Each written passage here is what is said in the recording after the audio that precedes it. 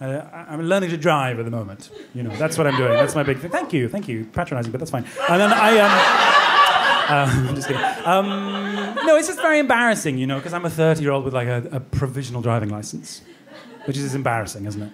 You know, just like provisional driving license, is the most embarrassing piece of card you can own. Because it's provisional. There's a proviso, and it's a really big proviso. Because it's like a piece of card that says I can drive if I learn to drive, which like. What a big if that is, isn't it? It's a laminated piece of hope that I carry around in my wallet. Police officers are like, Can you drive? And I'm like, One day.